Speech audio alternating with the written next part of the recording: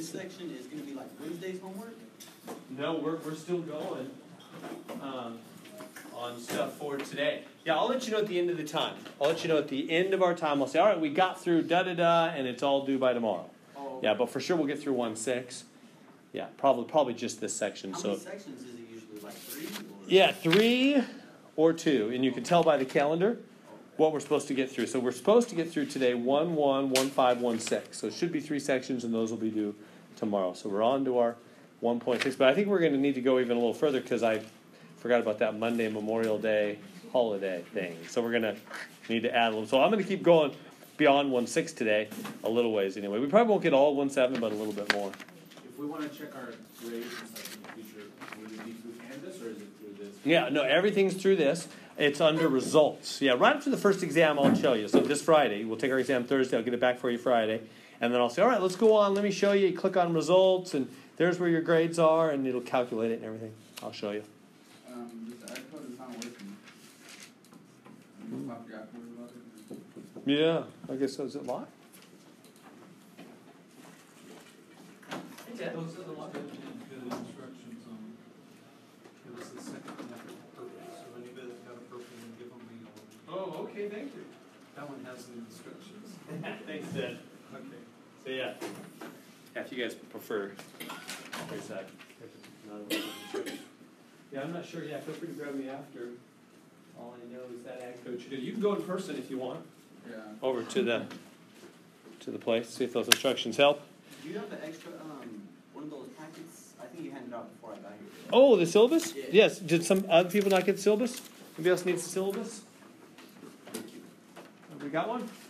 All right. Yeah, that has the MathXL thing on page three there. Yeah, which we need to get on the MathXL, use the course ID and everything. All right. Good deal. So um, let's take a look here. So now we're in section 1.6, addition of integers. So 3 plus negative 5, so, uh, negative 15. 3 plus negative 15. So, yeah, are you good with the positives and the negatives and all that? How does all that work? Well, what I'm going to say is what I think the easiest thing to do is just to think about um, gains and losses. Gains, because remember, math is made up to describe things that are real. So, real life, gains and losses is the easy way to think about it. So, how about like if you positive, this is a this is a positive three. How do I know? Signs are off to the left. They're in front of the number, right? So, what's in front of that three? Nothing, which means it's positive three, huh? And what's in front of that 15? Negative, so that's a loss.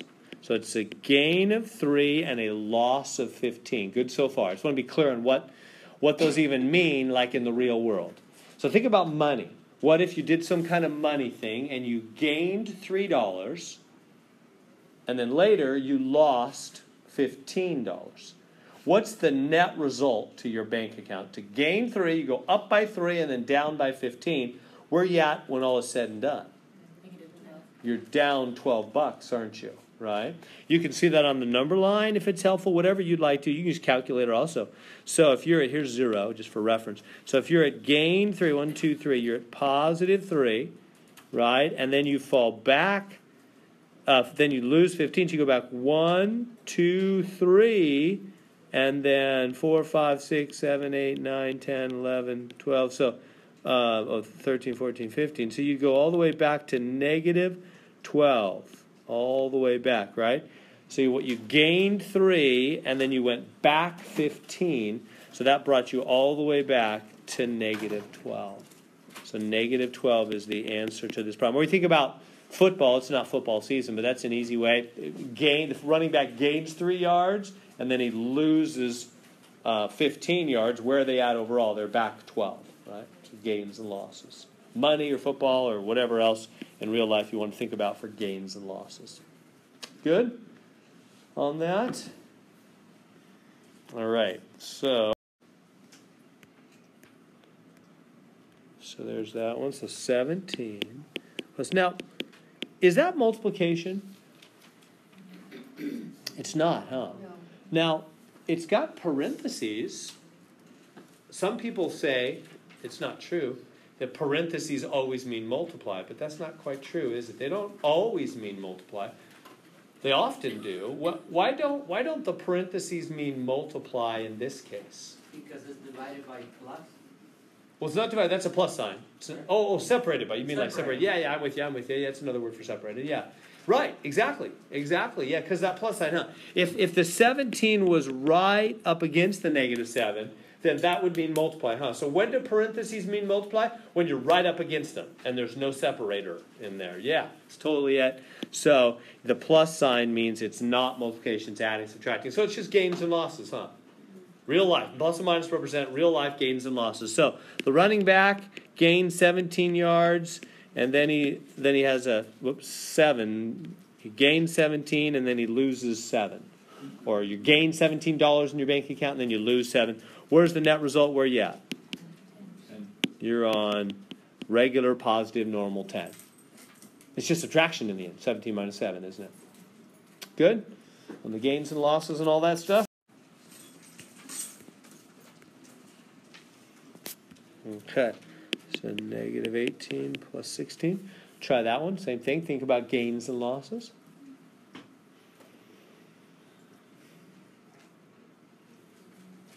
Answer is minus 2, right? We good with that? Because if you lose $18 and then you gain back 16, you're at negative 2 overall. Negative 2. Good? All right. So gains and loss.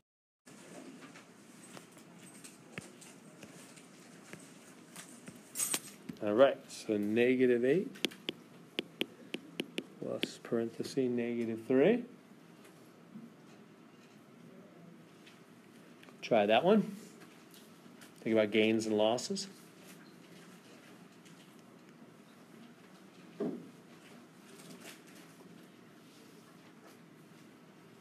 right, so if you have a, a loss of eight and a loss of three, right? Because they're both negative, they're both loss. So if you lose eight dollars and then you lose three dollars, where are you at in your bank account?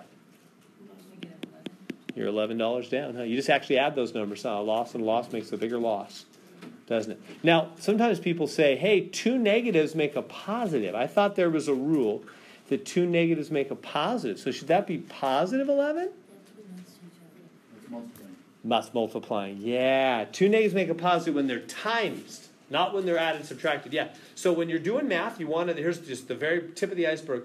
We'll have a whole iceberg underneath the surface here of rules that we'll see throughout these four weeks.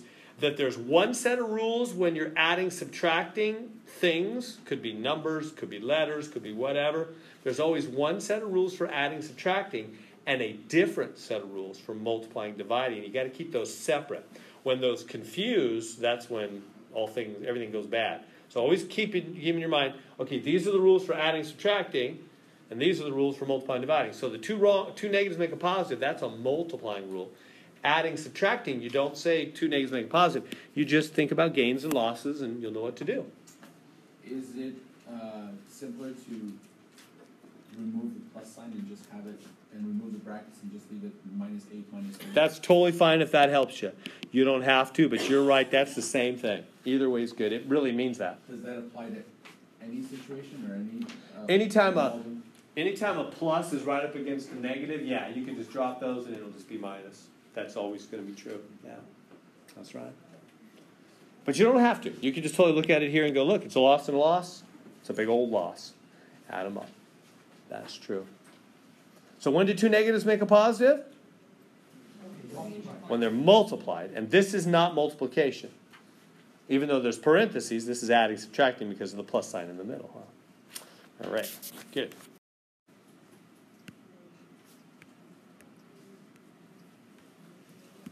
All right, negative 44 plus 26. So again, adding, subtracting, go ahead and give it a try.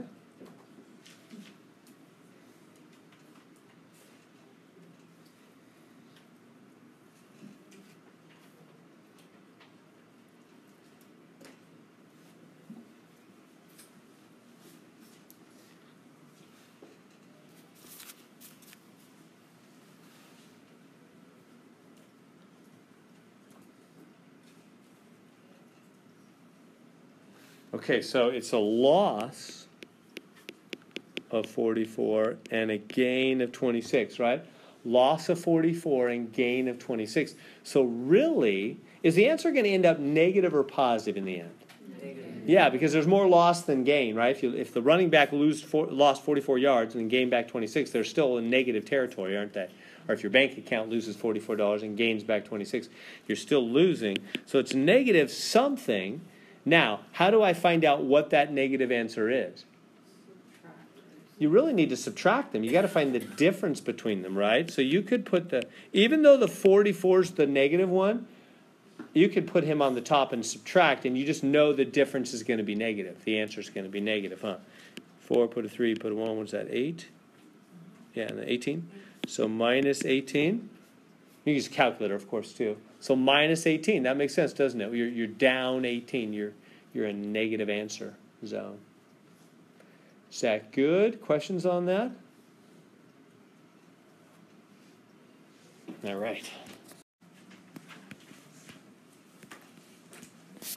Okay, so negative 1.9 plus 3.3.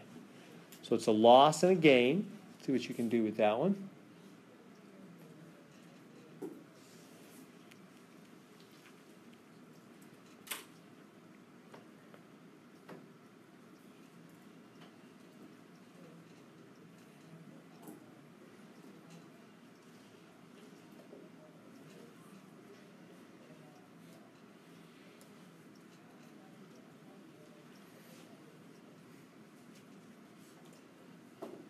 Okay, so really that's just, you can use your calculator and just subtract, huh?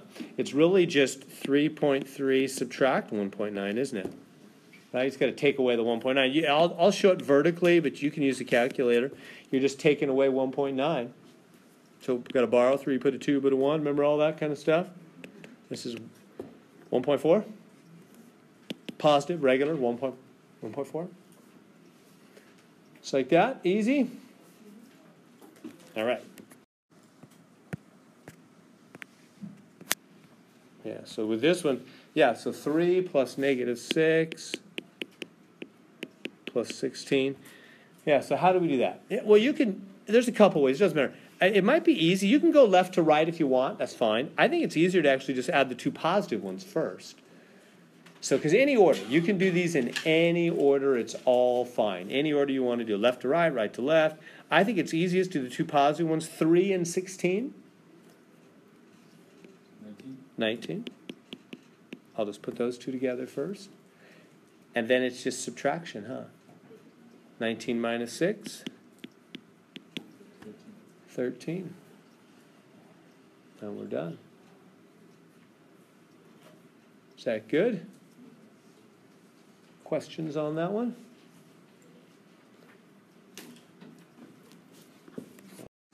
Oh, um. Question? Yeah. Do you want to talk about that last one? Sure. Yes. Yes. If you eliminate the, uh, the parentheses in there, Right. then it will work the same way? Yeah, totally, totally. Yeah, so if you wanted to, um, like, just do these two first, you mean? Or just, just like eliminate the parentheses, like three plus negative six plus sixteen, like that? Uh-huh. That's okay, yeah, you don't have to, and that, but that's fine to do that, either way is good. It works the same way? It worked the same way, Okay. yeah, either way is good. Yeah, good. All right, we'll try this one, so negative nine plus four plus negative seven. You can do it any way you want, you can get rid of the parentheses or leave them. I would do the two, the- I think the easiest thing is put those two negatives together first. You know, the same signs together, but you don't have to. You can just go left to right if you want.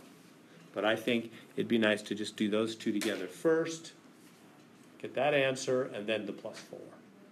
Might be the easiest way to go.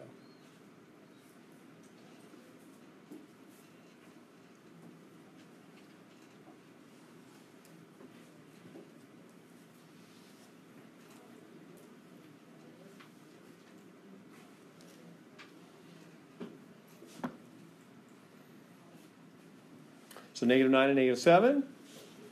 If you have a yeah, negative sixteen because it's a loss and a loss, right? If you lose nine dollars and you lose seven dollars, you lost sixteen dollars, and then and you don't need the parentheses anymore, like like you were saying, that's totally right. And then the bring down the plus four, and now you have a sixteen dollar loss and a four gain, right? So if you lose sixteen dollars and you gain back four, Where are you at overall? You're down 12, aren't you? Make sense? There we go. So it's usually the usually the easiest order is to do all the negatives together separately and all the positives together separately and then put them together in the end.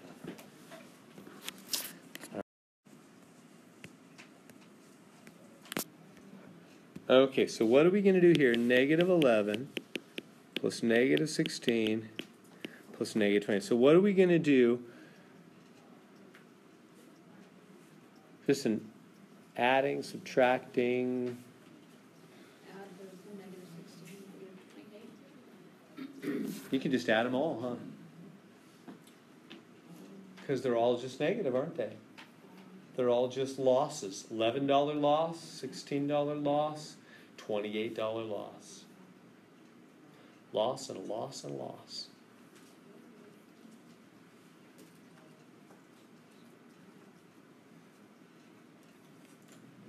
Just a big old loss, huh?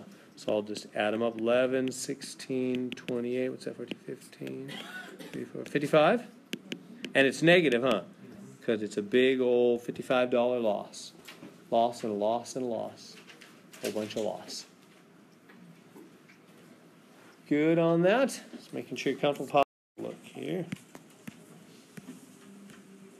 Okay, so we got bracket minus 7 plus minus 2 plus 7 plus minus 5. Okay, so you're supposed to uh, do this part separate and that part separate, right? Go ahead and do that. Get the answers and then put them together. It's a negative 7 there.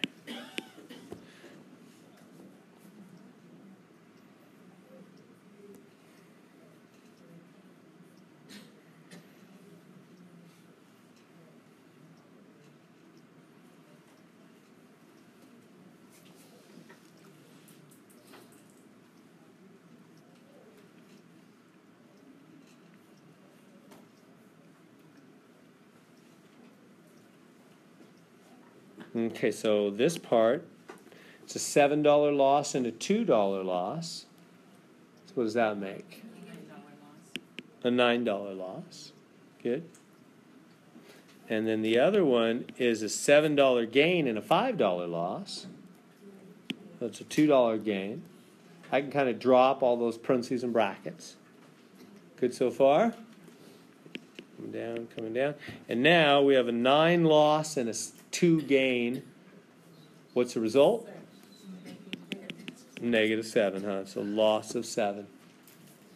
That makes sense. If you lose nine and gain back two, you're down seven.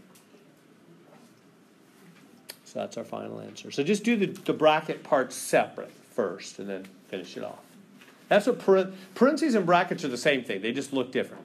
They're the same function. They just separate things into groups, don't they? Parentheses and brackets do that. Just they're just grouping symbols, really. Good. All right. All right.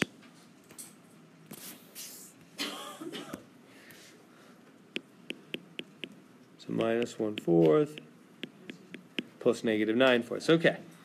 So um, how do we combine fractions? Do you remember? What do we do? Oh, that's yeah. We do the crisscross when we're multiplying or dividing. Yeah, well, you're multiplying. We're multiplying. Yeah. So we'll get to that. But for adding, subtracting, for when you add or subtract fractions, you must have not must, but must. you must have common denominator. Remember how you keep the denominator the same? See how these these match and, and they must, and that's good. So just leave that. Not going to mess with the bottom at all. Just keep the common denominator. Remember that? And then the only thing we do anything with is the tops. So forget about the fours on the bottom. Just leave them as they are. And then the minus one and the mi- and the minus nine. So a one loss and a nine loss. They'll do their thing. What's what's a one dollar loss and a nine dollar loss put together? Ten dollar loss. And then we got to reduce that fraction. But so far so good. So I'm making sense to. So I just left the bottom alone. Just common denominator, leave it four. But the top's a one dollar loss and a nine dollar loss makes a ten dollar loss. Now I can't leave this as the final answer. I'm almost there, but I have to reduce it. Whenever the top and the bottom, like you could divide something into it, you need to do that, huh? What goes into both four and ten? Two does, huh? So divide by two, divide by two, be minus five has, and we're done. It's okay to leave it that way, but the top, sometimes students ask a good question. They'll say, well, can we leave it with the top bigger? Do we have to make it a mixed number? You don't have to make it a mixed number. That's totally fine to have the top bigger, as long as there's nothing else you, to divide out. And there isn't. Five and two have nothing in common, huh? So we're good to there. That's our final answer. Question, and, and that minus, let me ask this. That minus can be in the front, or the minus can be in the top, or the minus can be in the bottom. Are you aware that it's all the same? Erase that mark. It's all the same. It doesn't matter where the minus is on a fraction. That'll come up again and again throughout the course. So let me say it again a little more slowly. So um, minus signs, front, top, bottom, it's all the same. Doesn't matter in a fraction. As long as you have one minus sign, doesn't matter where it's at in a fraction. So we'll see that, especially on the multiple choice test we take on Thursday. You know, they might have the minus in a different position. You'll be wondering, oh, do I grab that one or does it matter? So you want to know, doesn't matter, right? Where the minus is. As long as there's one minus, front, top, bottom, it's all the same on a fraction. Good? All is well? All right.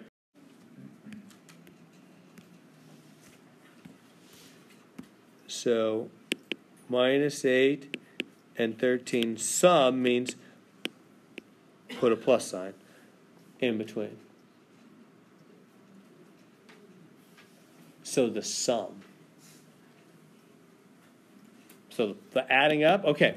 So that's an a loss of 8 and a gain of 13. What's the result of having a loss of 8 and a gain of 13? A positive or regular 5. Huh? That's our answer. Is that good? Good. Hey, that thing I just said with the fraction, I just realized I don't I want I don't want to give you rules without reasons. Let me go back to that fraction thing. Remember I said a minus, front, top, bottom's all the same. I want to make sure that makes sense for you. Think about real life. What if um, what if somebody gave me a fraction and they said, okay, 10 over 2. Now what is 10 divided by 2? You know the answer is 5, right? Now let me prove to you that it doesn't matter where the minus sign is. What if they put the minus on the top? Or what if they put the minus on the bottom? Or what if they put the minus in the front? That's the front middle, you know? I want to show you that those are all, I, I claimed it a second ago. I said it doesn't matter where the minus. But I think you'll remember the rules better if they make sense. That's always the best way to do math is, you know, kind of think on it till it, it make, makes sense to you. Not just something you heard a math teacher say, but that it really makes sense. You, you'll remember it better that way on tests and stuff. So think about it with me. Let me try to make sense of that. If remember the rules for um, here I'm dividing, huh? This is dividing. Remember the rules for dividing two negatives, multiply dividing. Two negatives make a positive. One negative is just negative. Remember those rules? So we're kind of changing gears for a second so I can demonstrate the rule for dividing two numbers. A fraction is dividing, right? So when you divide negative 10 divided by 2, that's what that means, right? It means negative 10 divided by 2. What is what is the answer? It's going to be 5, but is it positive or negative 5? Negative because it's one negative sign. If there were two negatives, they were both negative, it would have been positive. Positive 5, wouldn't it? You with me? So one negative is just negative when you divide or multiply. Two, two would be positive. So my point is, my point in all of that is the answer is negative 5. Okay, what's the answer to this one? Same thing, because now it's positive divided by negative. Again, one negative, the answer is just negative. So you see how the, and then what's this one?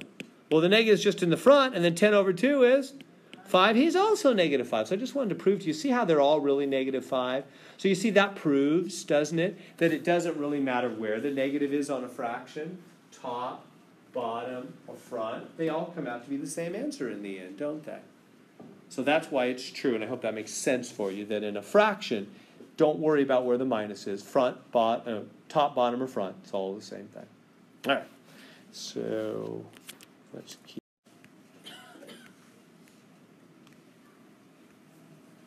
Okay, so uh, they want you to actually, I didn't notice this before, they want you to actually write it out first and then figure it out. So they say, what is the numerical expression for this phrase? So they want you to write it first. I didn't notice that. So how do we write the sum of negative 4 and 8 and 4? Sum again means what? Add them up. So there's the first thing they want. There's there's like the answer to, to the first part. They want so they want you to actually type that in without without figuring it out. And then the second part, they'll have you calculate it out. What is the answer to that? Yeah, because these guys just cancel, don't they? The answer is just eight. That makes sense? So they want you to type this in as your first answer and that in as your second answer. They actually want both answers on that one. They want it written out first and then figured out afterwards. So written out and then figured out. Both. See I know that? See what they're saying? What is the numerical expression for the phrase? Do not simplify, right? Harder, I mean, they are, I think, than it would be just to figure it out. So they're saying, all right, current temperature is 82. It's going to drop by 6 degrees. So we know what that means, right? If you're at 82 and you drop by, it's probably 82 out there already, huh? And you drop by 6 degrees. It's not going to drop by 6 degrees today. Um, that would just be subtract 6, right? That's no big deal. We know how to do that. What is that? 8 put a 7 put a 1. 76? That'd be nice if it was 76. That's the new temp. But what in the world do they want me to put there? The negative six. Yeah, exactly. They want you to put negative 6. Kind of weird. That's what they want. I just want you to see what they're saying. Yeah, the final answer is 76 because if you're at 82 and you drop 6, you subtract. But what do they want in the other box? They want the 82 plus a negative 6. That's the same thing as minus 6, isn't it? They're just making sure you know plus a negative 6 is the same as subtracting 6, which you know already. Good on that.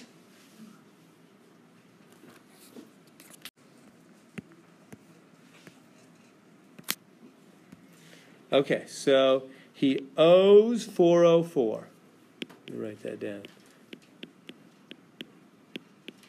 He owes 404. He sends a check. He, he sends a check. He owes it. He sends a check for $56. So um, and then he chart so when he writes them a check for $56, what's that going to do to the amount he owes? It's going to subtract because he's paying some of that off. Only a little bit. Right? So we subtract first off, right? You use the calculator. These are big numbers if you want. 4, put a 3, put a 1. That's 10. Make it 9, put a 1. So that 8, 4. So now he owes 348. And then next thing, he's going to, what does it say? Um, he charges another 146. So he's going to charge $146. So what's that going to do to the amount he owes? Gonna add up. It's going to add it, right? Yeah. 146, what's that? 14, 8, 9, 494. He now owes 494. And then pay, oops, my screen just flipped out on me. Pays off 271. So if he owes 494 and he's going to pay off another 271, what's that what's the payoff going to do? Minus. Minus it, right? 271, 3, 2. Now he owes 223, and that's the final answer. That's what they want. That's what is to owe in the end. Good on that? She's a calculator, making sure you know when to add, when you, when you subtract. I think you already know all that before you started this class. All right.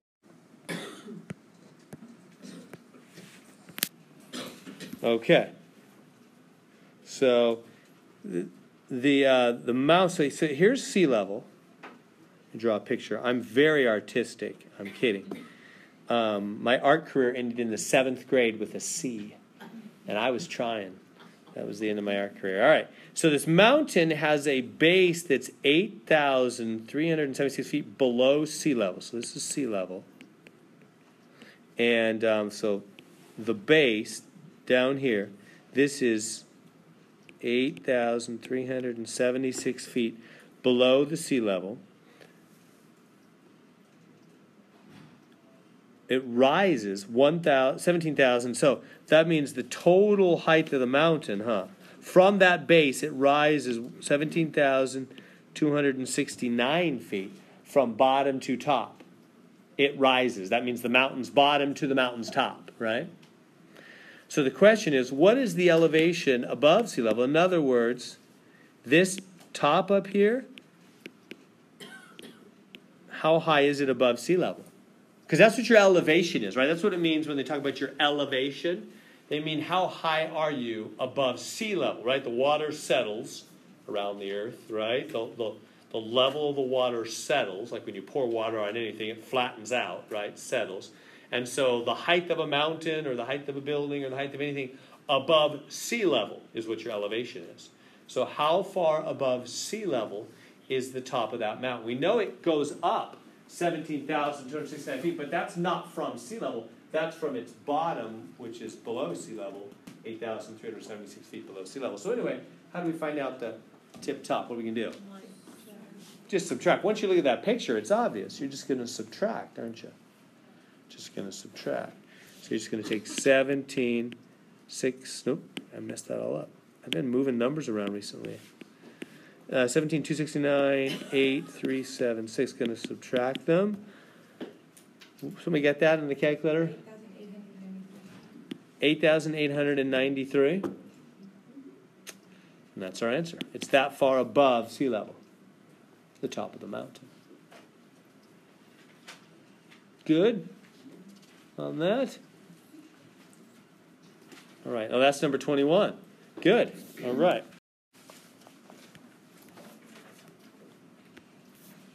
Okay. So 3 minus a minus 5. So remember the rules on adding, subtracting positive, negative numbers. What's the deal there? That's gonna become a positive five. Yeah, do you remember that? Remember that kind of stuff? The two minuses that are, I call it head to head, they're right up against each other with no number in between. They're going to become positive, aren't they? So whenever you have two minuses, let me write that out. So two minus signs um, head to head, head to head with no number in the middle, both become positive, don't they? So the two minus signs head to head right here, no number in the middle of them, they both become positive. Because two negatives multiplied become a positive, don't they? So then in the end, it's just 3 plus 5 is just 8. That was easy after we did that. Hey, why did two minuses head to head become positive? You're telling me subtracting a negative is actually adding? Is that true? Oh yeah, why why isn't it multiplication? Good question. It's parentheses. Shouldn't we multiply? There's a plus sign in between. Good. Yeah, if this plus sign mine this one wasn't here, and if it was right up against the wall, that would be times. That'd be 15, minus 15 in that case, right? Does everybody see that? Yeah, so that's really important observation. If something's right up against a parenthesis wall with no symbol in the middle, that means times. Otherwise, if there's a plus or a minus between them, it's not multiplication. So you see how you have this minus that's separating the number from the parentheses, so it's not right up against the wall. So it's not multiplication. Is that good on that? Yeah, so it's uh, it's not multiplication. Well, at least I should say the three is not being multiplied, is it? But this is really a minus one being multiplied by the minus five, isn't it? That's what that's another way you can say it. I'm fine with that, or you could just say two minuses make a plus, or you could say minus one times minus five. That's true also. Makes plus five. That's true. That's what's happening also. It's still, and then in the end, it adds the three and the five are, are added together, right? Because they are separated from each other. Three and the five are separated from each other by pluses and minuses. It's not up against the wall. It's not multiplication, right? So it's eight. Yeah, why do two minuses make a plus like that? Is that true? Or is that just what some math teacher said? It's just rule of thumb. What's that? It's just the rule of thumb. It's just the rule? Where do math rules come from? Well, I already told you, right? All math is made up. This is made up. Right? Is there a question on the test? that's that's a question to understand how math fits in the real world. Yeah, math is made up, but it's made up to describe what's true. So even though it's made up, yes, it's made up to describe what's true. Let me let me let me show you something.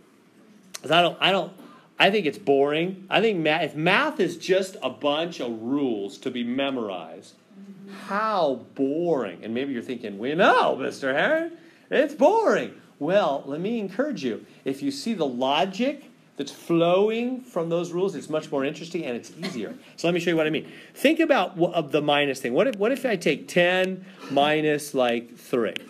Okay? Suppose I, I don't know what the double minus thing means. Let me show you how you could discover, based on truth, not just some math teacher or math book saying so. 10 minus 3. Answer is? 7. We all know that one, right? Now, 10 minus 2. Answer. 8. 10 minus 1. Answer. 9. 10 minus 0. See, see my pattern, right? 10, right? So far, so good, right? Math is just patterns. That's all it is. Math is the logic of patterns. Okay. What comes next in the pattern? 10. Now, notice the pattern, right? 10 minus. And here, if it helps, I'll put parentheses. You don't have to have parentheses, but if that helps you focus. 10 minus 3. 10 minus 2. 10 minus 1. 10 minus 0. 10 minus minus 1. Isn't that what's next in the pattern? Yes. Right? I'm just following the pattern. I'm not doing deep, deep magic thinking here. I'm just 3, 2, 1, 0, negative 1. Next would come minus 2, and you know, on you go, right? Okay, now. Now, before you go, oh, yeah, there it is, Miss Tarrant. Two negatives make a positive. Well, hold on. Pretend I don't even know that rule. Pretend I'm like, I don't know. This is weird. What do two minuses even do? I don't care what the math teachers say and the math books say. I want logic. I just want to follow the logical pattern. That's all math is. Math is training you. You think, why don't I do this? It's training your brain to think more and more logically in following patterns, which is a very valuable skill in the real world. Because what do doctors do? They look at symptoms and they look for the pattern in the symptoms and they say, this is what you've got. What do lawyers do? They look at, picking two big professions, doctor, lawyer. They look at patterns in the law and they argue based on the pattern. Based on precedent, in this case, boom, right? The pattern thinking, logical following a pattern, is a very valuable type of thinking. Math directly goes after that and trains that area. So follow the pattern. Well, and you think, well, yeah, but you got to, no, no, I just mean, right, I just 3, 2, 1, 0, negative 1, negative 2. Just nothing deep there, just follow the pattern. Follow it now. Suppose I don't even know what the answer is. I'm not going to do any rules here. I just want to follow the pattern. Look at the pattern in the answers. Just follow the pattern. 7, 8, 9, 10. What's this got to be? I don't care about the rule, but what's it got to be? What's next in the pattern? It's got to be 11, doesn't it? I'm just following the pattern. So what happened with that 10 minus a minus 1? It must have added. That's why. It's logical. It's true. It's not just what some math teacher says or some math book. Math is ruled. You know who's on the throne of math? Truth. Truth. Which I greatly enjoy. Who's on the throne of the English language or any other language? Whatever people say. And that's why the rules change over time, right? Because remember, ain't wasn't a word for a long time, and then people said ain't enough, and then remember, used, back in my day, they used to always say ain't ain't a word because ain't ain't in the dictionary. It's kind of a fun little goofy saying. Well, it is now because people taught, said it enough, right? Language just kind of shapes and morphs as people talk. There's no set in stone rules, right? What I enjoy about math is it is set in stone, and that stone is truth. It is what is true. It always follows and only follows what is true. So, as you follow the truth, you'll be good. So, yeah, so that's why it's true that two minuses actually do add. Just looking at the pattern. It's got to be, doesn't it? What's the next one? Follow the pattern. 7, 8, 9, 10, 11. Got to be 12. So, what did that 10 minus a minus 2 do? They added, huh? So, that's why it's true. It's the pattern, it's the truth. All right. So, truth is on the throne of math. Okay. Give that one a try. Minus 14 minus. Is that multiplication? Is that times? How do we know it's not times? Because they're separated, right? There's something separating the 14. I mean, you could say it's minus 1 times. That's okay, that's true. That minus 1 is right up against the parentheses, so yeah, he's multiplying. But my point is the minus 14 is not multiplying, is it? Because the minus 14 is separated from the parenthesis by a negative symbol. He's not up against the wall. Only things up against the parenthesis wall are multiplying, right? We good with that? So what are we going to do? What's that minus? So you do the multiplying first, right? We always do multiplying first before adding, subtracting. So the minus 1 times the minus 6, two minuses. We know. Make plus. You can drop the parentheses. Why? Because something from the outside, the walls came down, the flood water went in, right? The dam walls came down, the water went in. So then in the end, it's regular 2, isn't it? Oh, I am totally confused. I was testing you. Well done. Minus 4, yeah. 1 times 6 is 6, not 16. Thank you. Negative 14 plus 6? Negative 8, yes. That's the, that's the only mistake I'll make all semester. Or, or maybe all day. All right, so negative 8. We good there? Is that making sense? So two negatives make a positive when they're multiplied. When they're multiplied. If you don't mind, I'm going to go fast over this chapter. I will slow down. I go fast now on the stuff that's easy so I can have time to slow down later when we have the X's and things are harder with word problems and X's everywhere. That's my strategy. Buy time now for later. All right, so uh, give that a try. What should you do first on that one? Yeah, do the parentheses first. Yeah, I won't normally cover four sections in a day, but things are starting easy. So do those parentheses first. 7 minus 8, negative 1. Good to there so far. And now, is the 4 and the 1 going to multiply? No, that 4 is not multiplying because he's not up against the wall. But there is another minus 1 right there if you want, or just two minuses, whatever way you prefer to think about it is fine. Two minuses up against each other, or minus 1 times minus 1 if you want. They will multiply first two negatives, make a positive. You can drop the parentheses because something from the outside went in, right? That's when the, when the floodgate, the walls come down, the water goes in. So, and then it's just 5. Good?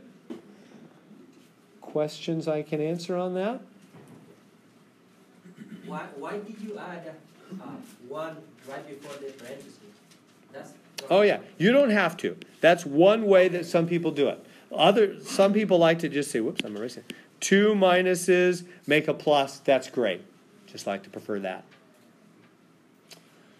Good there. Either way, you can think of it either way. Either way is true. Okay.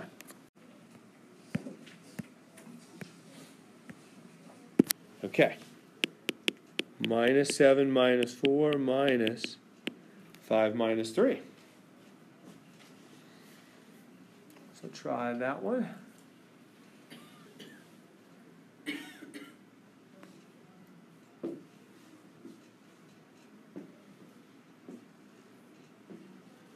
So do those parentheses first, as you well know.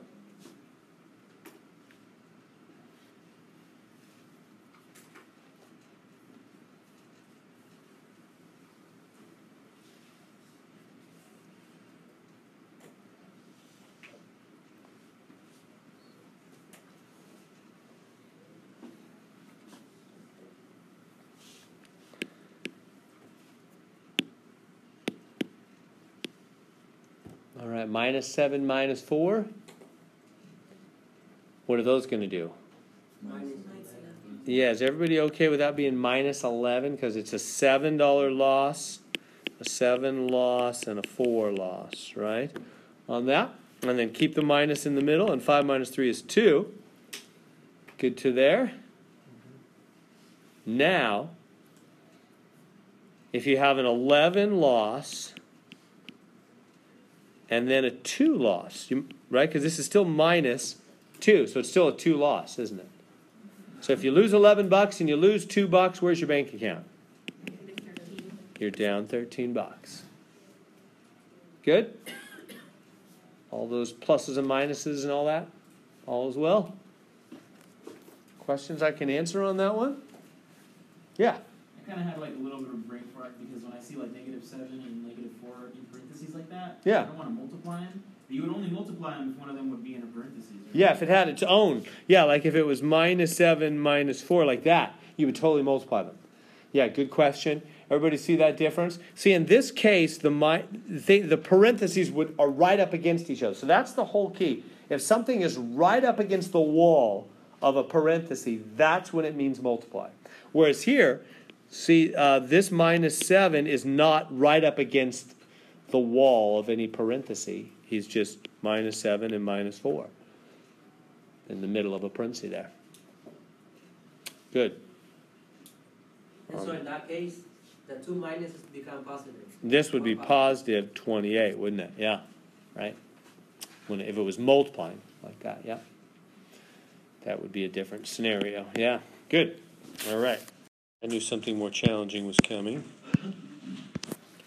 All right. So minus 3 minus, and we have that in a parenthesis 6 minus 3 minus minus 6 minus 6. There, okay. So try that one. Let me give you a little bit of time.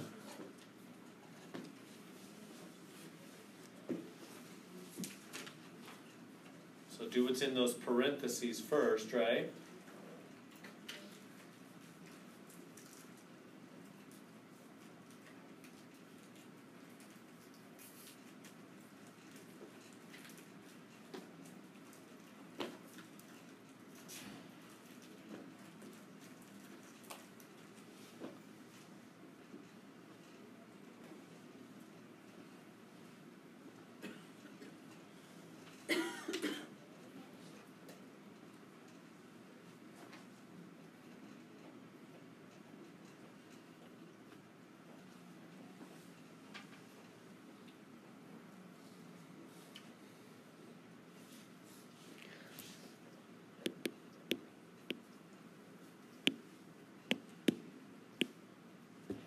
So 6 minus 3.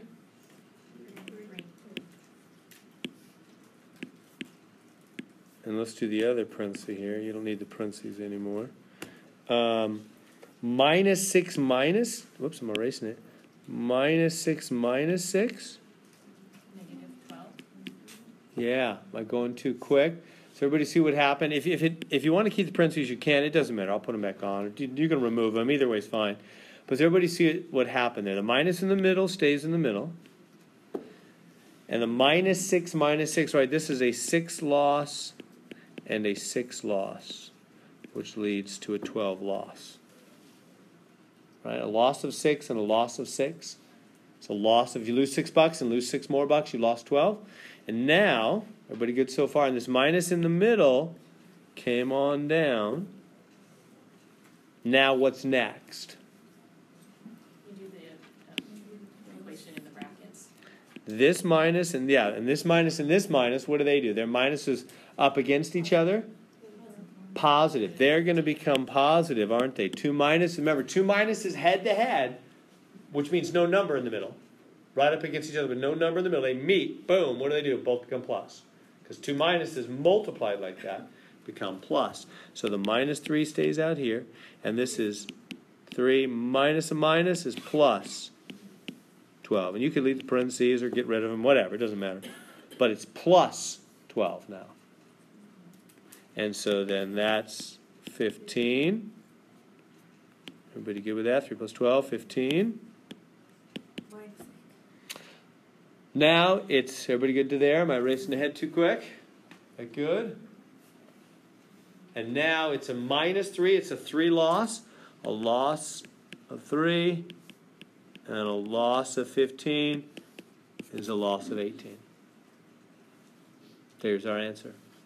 So if you lose 3 and you lose 3, you lost 15.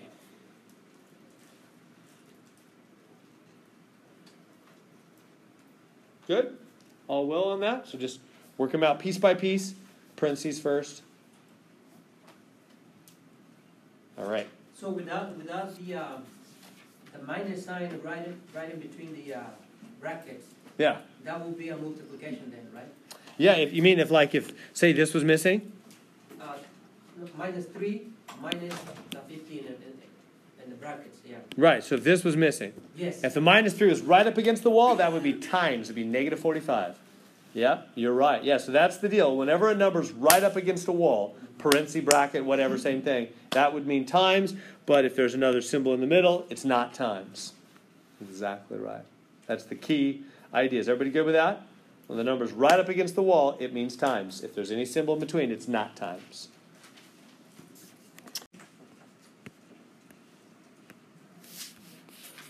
Okay, so two fifteenths minus minus eight fifteenths. All right, try that one.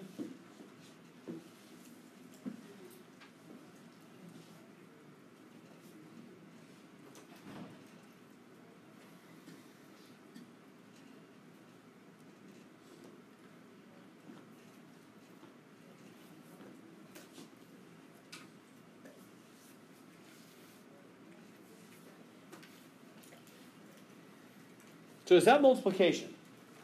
no, No, because it's not right up against the wall, right? If that, if this, um, if that was missing, that would be times. And that'll be important, especially when we get to our first exam, which is in three days, Thursday, because they're all going to be mixed up. You're going to have the, you know, what, what's tricky about math, what's hard about math, is that you can do the homework and like you're doing the same thing 10 times in a row, right? And so you get good at it. But then on the exam, it's all mixed up. All the different days of homework, and then you're doing an adding one, and then a multiplying one, and then back to adding. And, and, and so that's why I give you those practice exams to help you with the mix up, to make sure you can do all the rules at the same time. That's the real trick. It's nice in the summer, though. My pass rates are always higher in the summer. I love teaching summer. My summer pass rates are always great. Well, really, I think it's because better students take summer classes. The flakes don't want to come summer because it's a lot. Four hours? Are you kidding me? They don't want to sit here for four hours. So I love summer. My pass rates skyrocket. And I usually have 60% pass rate in the fall or spring, 80% in the summer usually. That's typical. It's great. I love summer.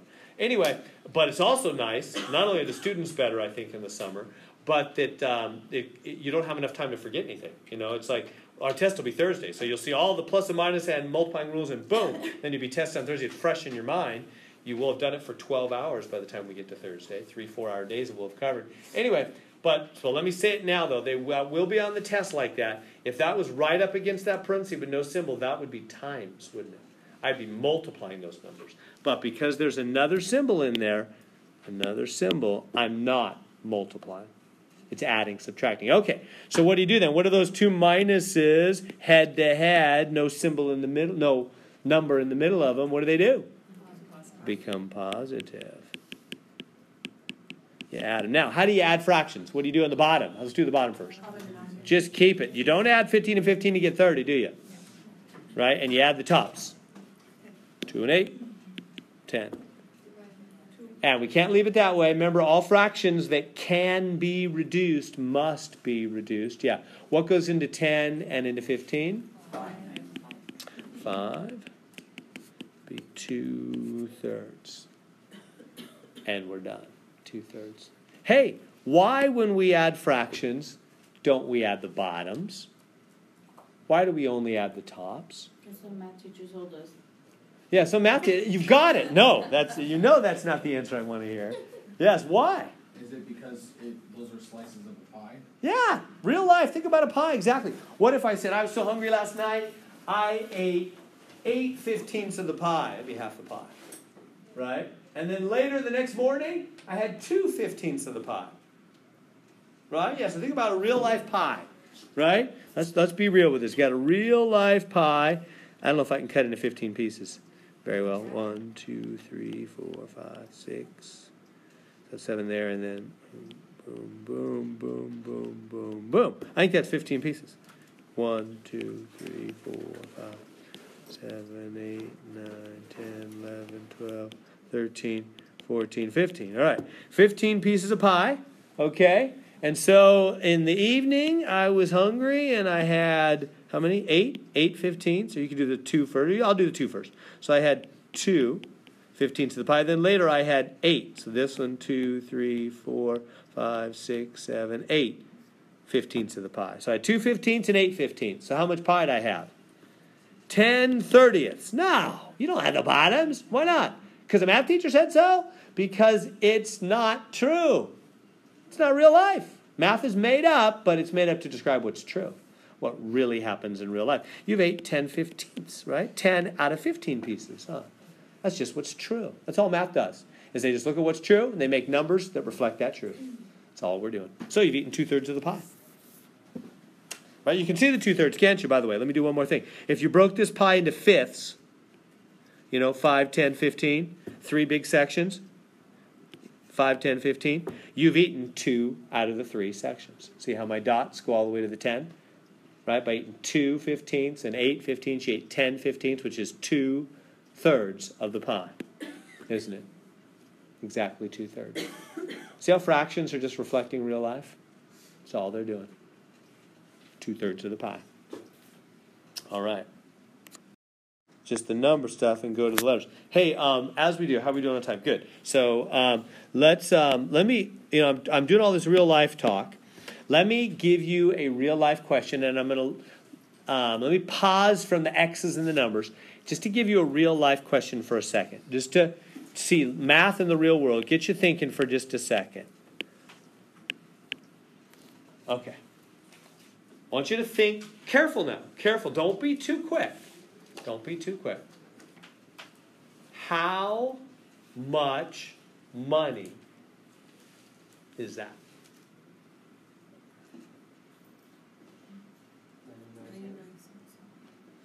Ninety-nine cents? Ninety-nine out of a hundred. Nine-nine pennies. Point ninety-nine of a cent. So real life, like how much money? You said, here's the bill, the bill is that. How much money is that? Just, just under a penny. Round it up, it's a dollar. Are you thinking, "You- well, what me, Mr. Harris? 99 cents. What's the problem? Pro- pro- I assume that most of you, having done this question for many years and with hundreds of people, I probably am able to think your thoughts, and probably most of you are thinking, that's not a trick question. That's 99 cents, just under a dollar. What's the problem? Okay, so if that's in your mind, and that's what you're sure of, you see if I can rattle you a little bit by asking this question. So that's 99 cents? Well then what's what's that? Well, yeah, it's 99 cents. So then decimals don't matter? Because that one doesn't have the decimal. Okay, I see what you did. So do you realize there's more here than meets the eye? If those are both the same, we got a big problem. Because you're saying decimals don't matter. Right? Those cannot be the same. Can they? No.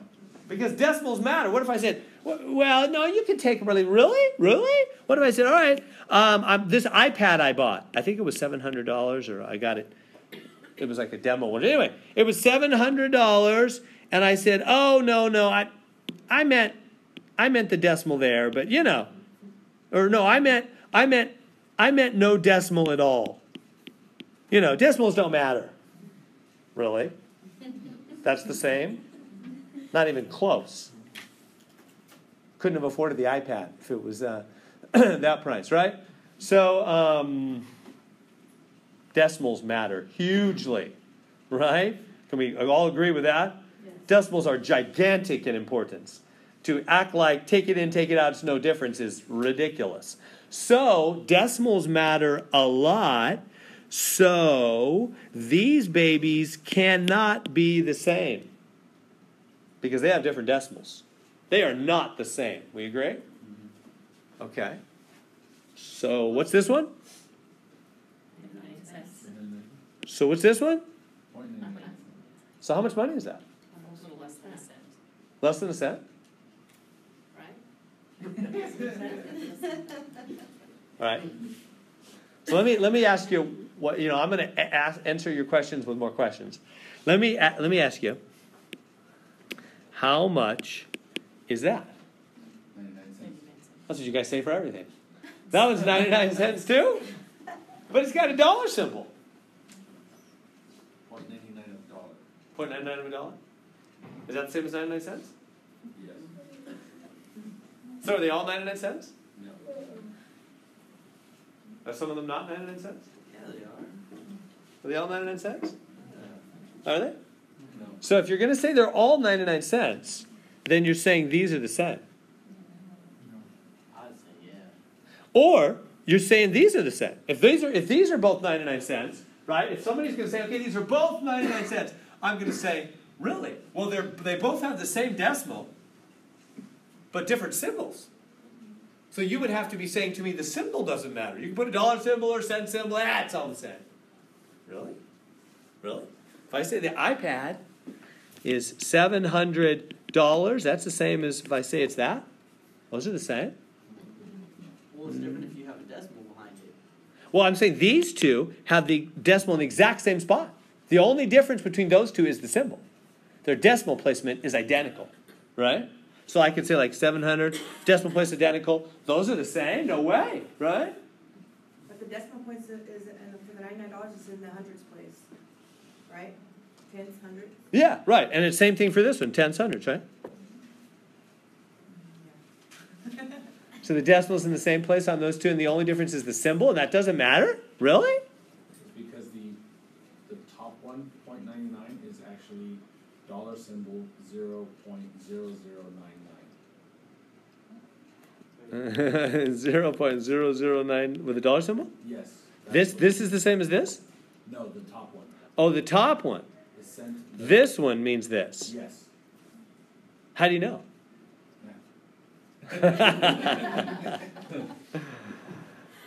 All right. I'd Um, much rather you pay me the one with the dollar symbol than the one with the cent symbol. you- okay. Okay. Yeah, so can we take a vote? Have we decided? Have you made up your mind? Are we ready to vote? Math by democracy. Which is not really true. Who's on the throne of math? Not, not, not the people's opinion. Thankfully, or it'd be changing all the time. Certain math rules would be in some year, out the other year. No, th- um, truth is on the throne of math, right? It's math by truth. But what would you think is true here? So let me give you some options. Option A. Um, I don't know. How, what, what, I don't know what, what. What are the options here? Um, we'll call this one A. Call this one B. Call this one C. Maybe a, the order in which I gave to A, B, and C. All three are ninety-nine cents. Um, only A is ninety-nine cents, and then. Well, here, no. Let me. I'll make that. I'm confused how to even say this. I don't know how to write the multiple choice test here. A, only A. That'd be easier. A, only A is only A means 99 cents. And I'll just write it with English words. Only A. B means only B. C means only C is 99 cents, 99 cents. D means all three are ni- or maybe maybe D would be only well there's so many options. Only A and B. E would be only what A and C. F would be only B and C, and G would be all three, are 99 cents. All right, there's a lot of options. A, B, C, D, E, F, G. H, I, J, K, L, M, N, O, P. Okay, so what do you think? Only A, only B, only C, only A and B, only A and C, only B and C, and finally all three. All right, so how many say A? Only A is 99 cents. Only A. All right, how many say only B? Couple. How many say only B? Nobody likes that one, huh? How many say all, right, which would be B there. How many say only C is 99 cents? Nobody likes that one either. All right, how many people say only A and B are 99 cents? No, nobody likes that one. Only A and C are 99 cents. Couple, four, three or four for that one. Uh, F, only B and C. Right, it's about the same as the, a few more, maybe just like six or five here, something like that. G, all three are 99 cents. Only a couple there. You, you guys are not. So the most popular one was F. Only B, only this and this are 99 cents. So then, if you're saying that, that was the most popular vote, if we're to do math by democracy here, then what is A? If you're saying A is not 99 cents, because only B and C are, you're saying, at least wasn't a majority of you, but it was like our presidential elections, right? Just more than the other camp, not, not more than half, though. So, um, so what is option A? Then if it's not 99 cents? Ninety-nine hundredths of a cent. 99 hundredths of a cent? Yeah. Which is how much? It's less than one, Less than one cent? yeah, because it's not the whole number. Because it's, so it's less than one cent. Yeah. What do you guys think about that option? He's saying option A is less than one cent. Is that true? Makes sense. Does it? How about, um, let me erase these options. I, I also think it makes good sense. And let me, let me, if, if you're not 100% sure about that, let me try to make it make more sense for you. If I was to, if I was to say, um, I went to the store and bought some fish, some salmon. I bought 0.99 pounds. How much is that? Well, it's just under a pound, right?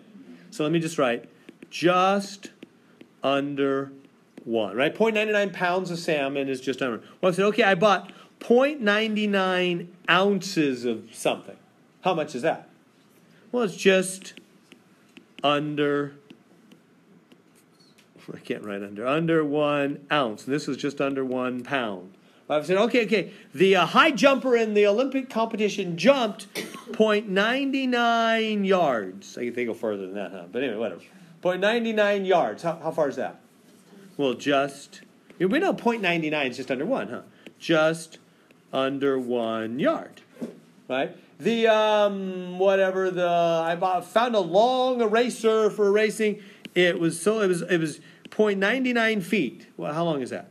Well, just under one foot. So you get the idea, right? 0.99 anything is just under one of those things, right? That's what 0.99 means, right? So 0.99 feet is just under one foot.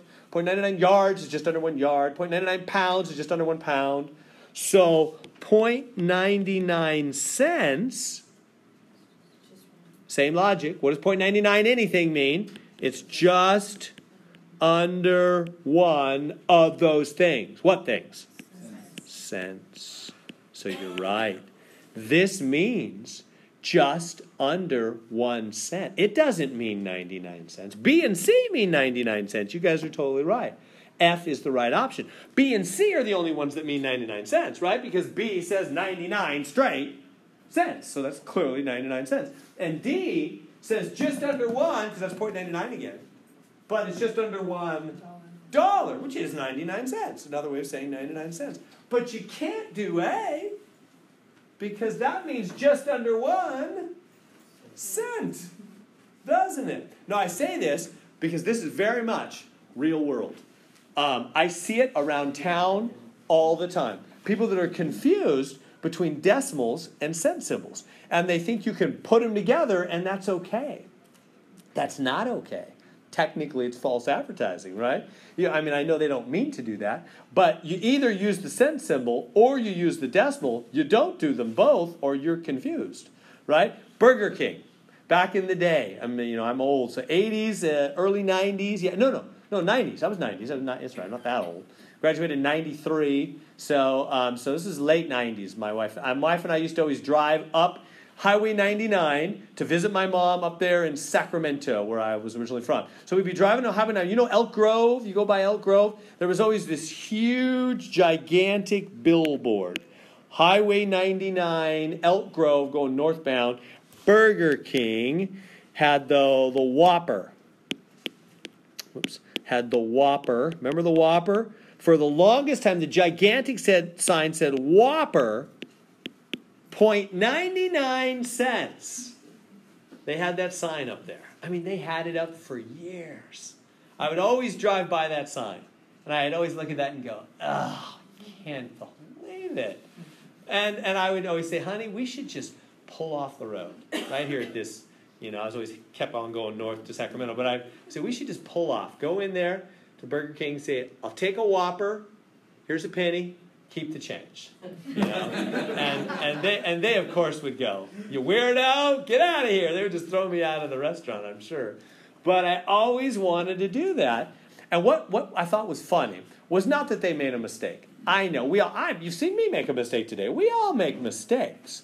But what was funny to me is that this was up for years, right? What if they had spelled the, what if they had said um, Burger King.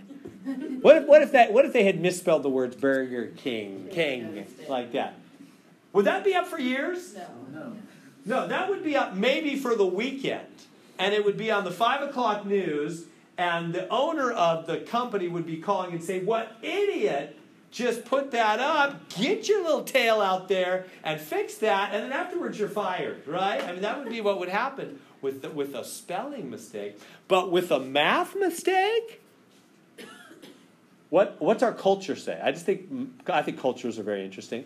Our culture, what does our culture say? Wow, who can do math anyway, right? I mean, it's just, I mean, right? And that's kind of the feel, right?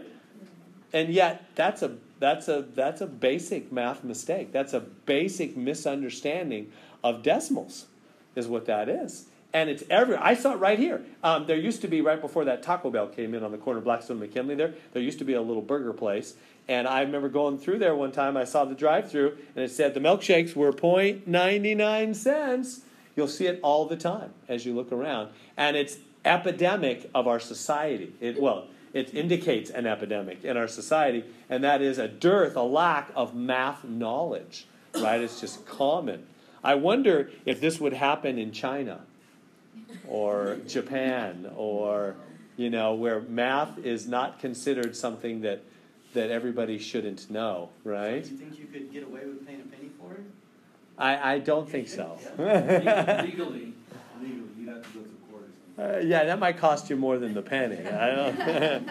I never wanted to push it. It just made me laugh. I just think. I just think culture's in. I mainly just like culture, and I just think it's funny that math has become such a thing now, where you can just do it wrong publicly for years, and nobody says anything. I mean, what does that say about our culture and how we think and do mathematics? All those stats are true, right? That they would say about America, and how we're going down, down, down, down in the math and science thing. This is indicative of, of that. So, anyway, funny thing ask your friends and family about 0.99 cents this afternoon. Do it like I did. The funny part is you just, just start by asking them, how much is 0.99 cents? And they'll just flash up 99 cents. Just boom, you know, they don't even give it a thought.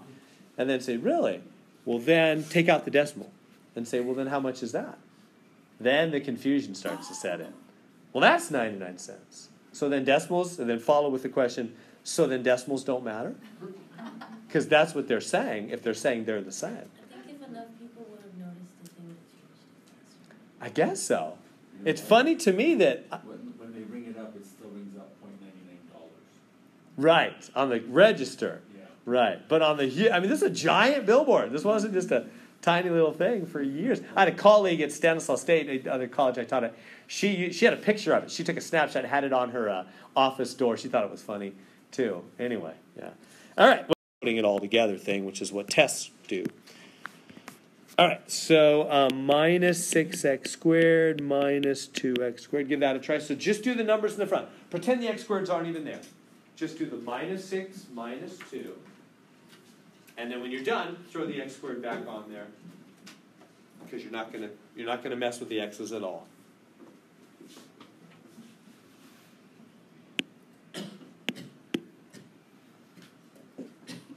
Okay, so what is minus 6 and minus 2? Are these multiplied? No, nothing's multiplied. There's no parentheses here. Nothing's multiplied. It's all add, subtracting.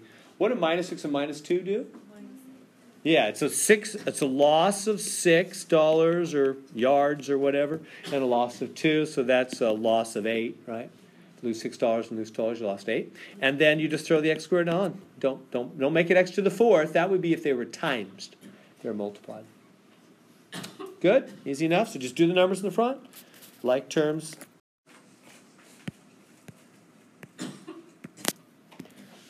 Okay, so minus 58 minus 3m plus 6n minus 47 minus n minus 7m. Okay. So go ahead. So what you should combine all the like terms, right? You know what I mean? So like the number with the number. You use your calculator. Just take out minus 58, minus 47, you know, or do it by hand, whichever way you prefer. So then do the m with the m and the n with the n. It doesn't matter what order. Just put these guys together and those guys together, these guys together. Just numbers with numbers, M's with M's, N's with N's. Remember to use the sign in the front of them, right? Whatever plus or minus is in the front of the number, that's their baby. That's their sign, right?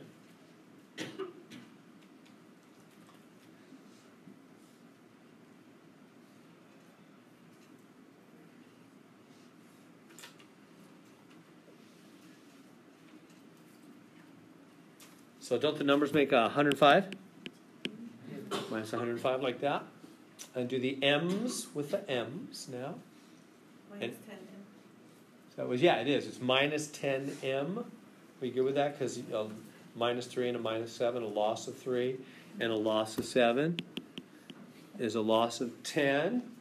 So far, so good. And now the ends. What, what is in front? That second, you got a 6N. N is in Nancy. And then the second N. There's no number in front. So what number's really there when there's no number? It's really a 1. Yeah, you aware of that? We do that all the time in math.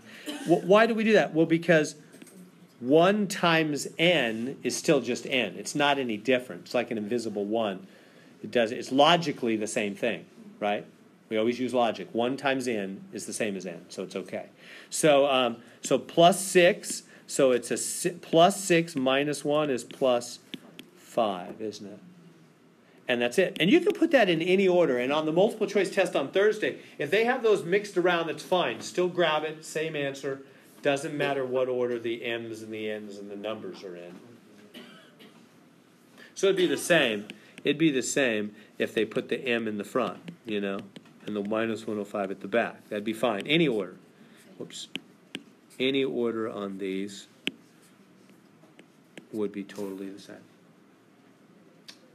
Good to there. Questions on that? All right. Keep moving there. Okay, so uh, the difference between 3 and negative 12. Let me help with this. Let's write it down, and then I'll show you. And um, it, it wants me to write a numerical expression and then simplify. So it wants me to write it all out first and then get an answer. So when I write it all out, whenever I say difference, or when they say difference, when, when they say the word difference, what is it's not sum. Sum means add. Difference means subtract. So what that means is I have to stick an extra minus sign that comes from the word difference. That's in addition to the minus that's already on the 12, huh? You with me on that? Just because they said the word difference, not sum. They said sum, I'd make a plus in the middle.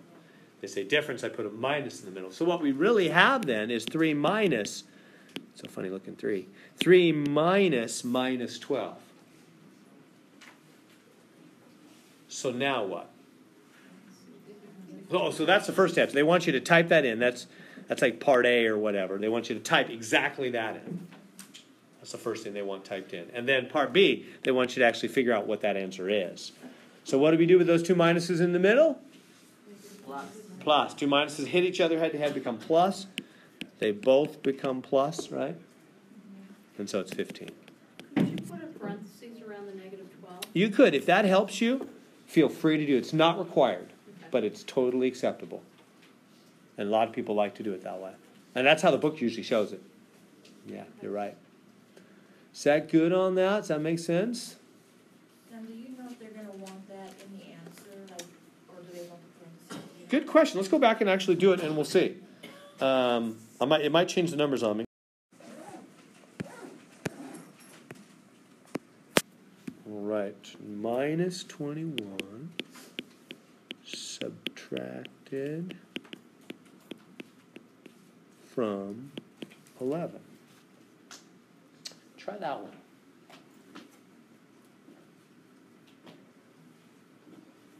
That one could be, this one tricks people on the test a lot, questions like this.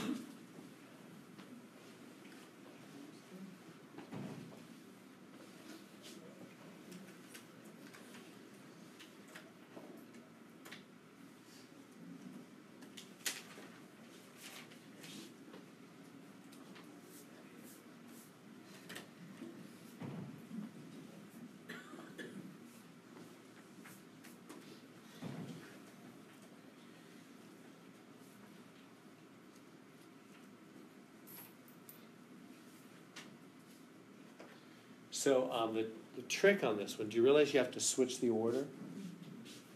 Because subtracted from, it's really an English language thing more than it is a math thing. The English words subtracted from means that goes in the back. So this minus 21 goes in the back. Now, well, actually, there's one other mistake. Sometimes I see people go like that. That's not right either. That'd be minus 10, and that's the wrong answer. Why not? Why is that not right? Because it's negative, because it's negative twenty-one, not a positive twenty-one. Yeah, yeah. You've got to you've got to say subtract. That comes from the word subtract, and then the minus twenty one. So really, the two negatives are going to become positive. Do you see why that is? So the extra minus comes from the word subtract. So the word subtract brings in a subtraction symbol, and then there's the minus that's on the twenty one. Been there all along.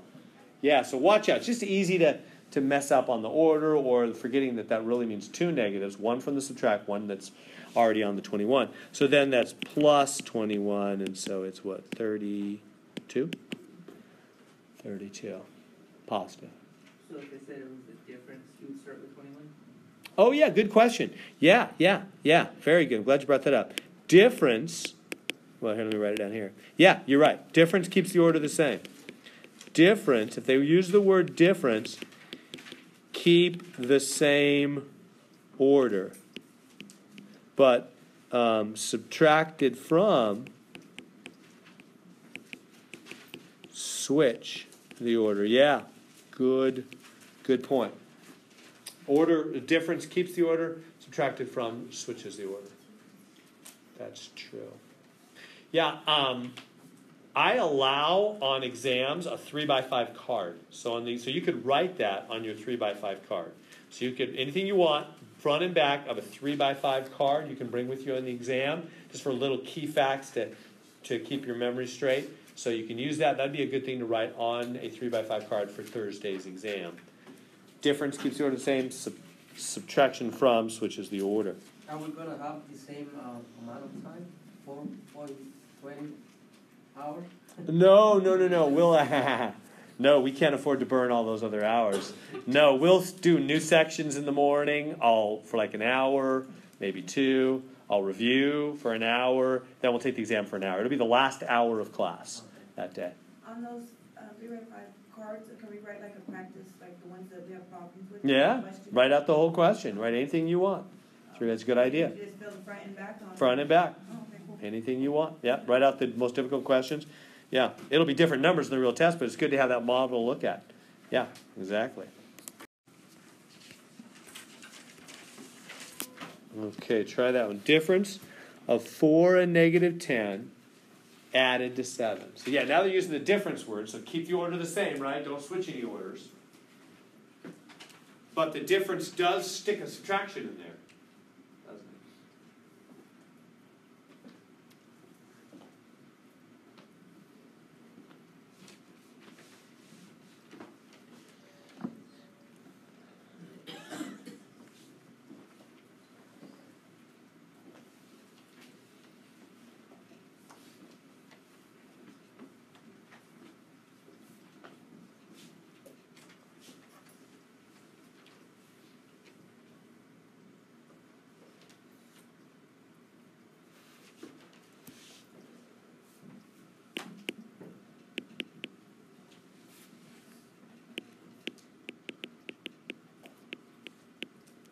So the difference puts that minus sign right there. Good. The difference between 4 and negative 10. The difference added to 7. Is that good so far? So it wants you to, you know, part one, they want you to just type that in. You know, they always want the phrase in part one. They don't want you to figure out the answer at first. They just want you to write that whole thing out. That'd be the first part, part A or whatever. And then part B, they want you to actually figure it out. So, okay, you know what to do, right? So these two minuses here become plus. And so then it's just a big adding problem. What is that? 21? There it is. Is that good? Is that making sense? So the difference word keeps the order the same with it with an extra subtraction for the word difference. Subtracted from switches the order.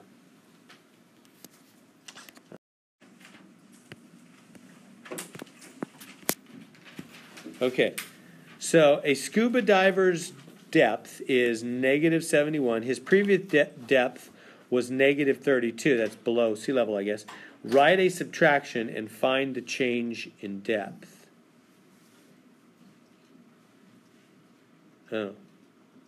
Change in depth. So, how do we do this? Um, you're always going to take present minus previous. It's always going to be because that's how you figure out change, right? In fact, if you want to figure out change, you want to say, you know, um, you know, this little child has grown three inches over the last year. You would take height now, present, minus previous. Right? Whenever you have a change, you subtract the previous, don't you? That's what change means. Real life. See how math is reflecting real life. Real life change is always now minus previous, isn't it? Not the other way around. Right? If the child is, you know, if the child is is uh, two foot three inches now and was just two foot previous, that would be a three inch gain. You wouldn't turn that around. You wouldn't take the two foot minus the two foot three inches, right? You you always do the present minus the previous for change. So that's just real life. So what's the present? Negative 7 to 1 minus minus 32. Got the double minus thing again, right? The minus in the middle is because that's what div that comes from the difference. The subtraction. So you know what to do. So that's that's what they want you to put. This they want you to put in that box there, and then they want the final answer. What's the final answer? Minus 71 plus 32. Minus thirty-nine. Is that what it is? Yeah, 39, huh? So that's the answer they want you to put in the second box.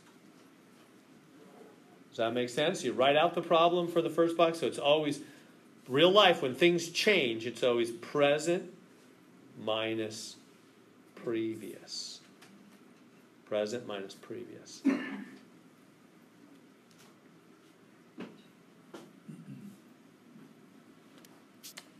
Good to there?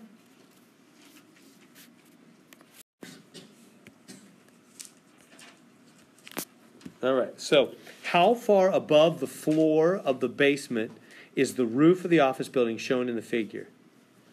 Oh, okay. So, so they just want a final answer. Okay, so how far, way up here, how far from the basement? Can you all see that okay? Yep. So um, what do we do? We got 300. The building's 349 feet above ground level, but the basement goes down 12 feet, and they're asking how far above above the floor of the basement. You had it.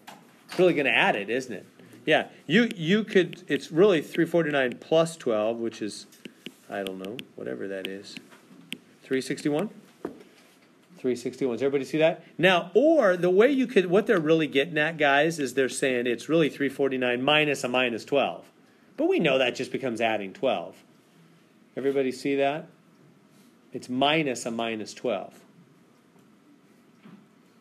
Like, I could make more sense of that for you, I think, if I said it this way. If I said, hey, what if, what if I stuck out my head here at 100 feet up?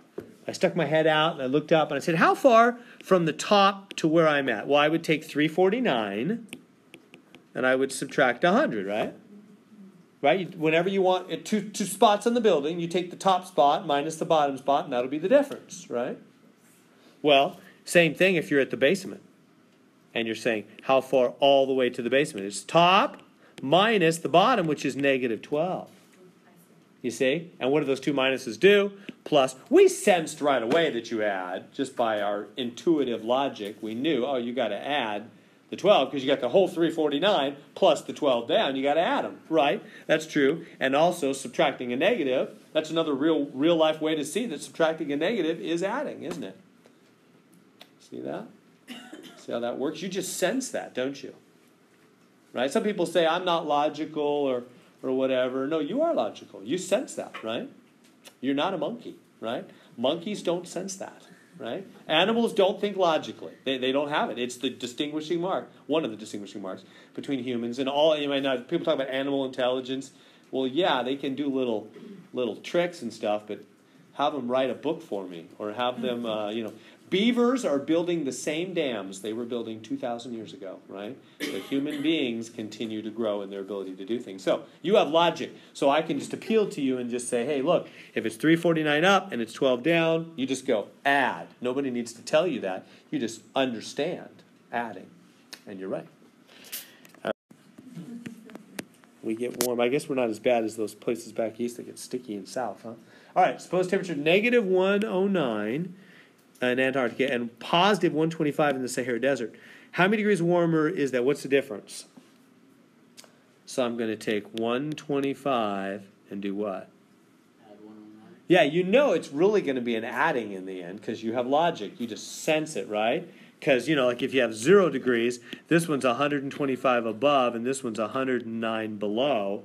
So the, the gap between them is you're going to really add 125 and 109. Formally, you could say it's minus minus 109, right? Take the high temperature minus the low temperature. But you know the two minuses is going to be plus in the end, which is what we already sensed by looking at that. So in the end, you just add them. What's that?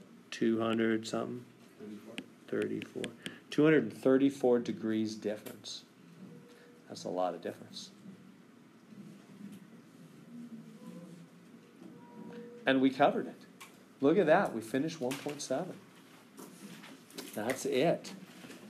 Okay, so we will stop there. We did well. Let me let me be clear for you.